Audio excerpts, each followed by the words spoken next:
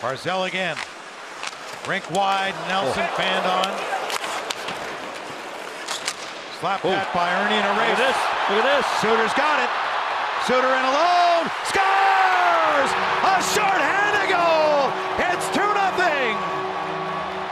Wow.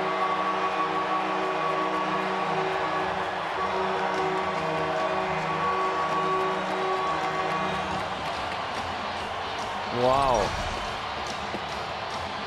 Play is made. Funny bounce again, and Suter makes the play back deep. Takes a hit to do it. It's chipped by the Islander defenseman pinching. And away goes Suter, and he goes short side. And Sorokin's first shot on goal after coming in cold may have hurt the Islanders right there.